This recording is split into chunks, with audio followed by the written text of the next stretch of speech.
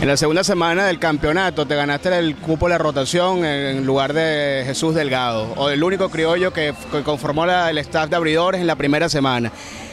Te tocó un reto muy difícil que fue entre los Leones del Caracas. Te faltó solamente un AO para ganar el juego. ¿Cómo te sentiste cuando Bailey te, salió al, campo para sacarte cuando normalmente te faltaba un solo AO? Bueno, mira, bastante bien, bastante contento con mi actuación de, anoche.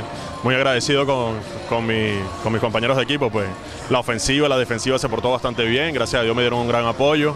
Eh, pude mantener mi bola bajita, los, los se estaban dando.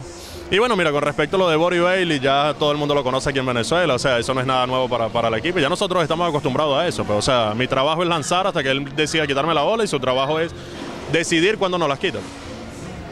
Eh, los dos juegos que ha lanzado esta temporada han sido casualmente en universitario. En la primera oportunidad te convertiste en el lanzador con más temporada vistiendo el uniforme de los Tigres de Aragua, superando a Richard Garcés.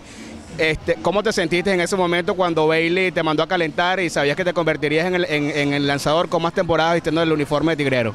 Sí, bueno, mira, es algo de, uno llenarse de, emoción ¿no? y de, orgullo.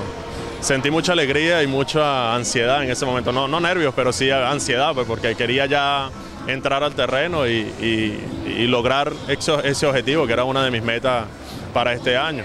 Ya logrado, pues ya eso uno pasa la página y ya te concentras en lo que es el trabajo y nada, mientras Dios me dé salud, aquí seguiremos. En la tercera semana Tigre cuenta con dos días libres, lo cual va a contar con una rotación solamente de cuatro abridores. ¿Ya hablaste con el coach Greg Saba, con el manager Woody Bailey, cuál va a ser tu trabajo durante esta semana? Bueno, mira, no, todavía eso no se ha conversado, no sé todavía si me mantendré en la rotación, si voy a volver al bullpen, todavía eso no hemos hablado. Me imagino que me lo comunicarán hoy en, el transcurso de la tarde de hoy o mañana para ver si hago mi sesión de bullpen el martes o estaré ya en el bullpen entre martes y miércoles. Invito a, todas las de los Tigres de Aragua que nos sigan por www.tigresdearagua.net.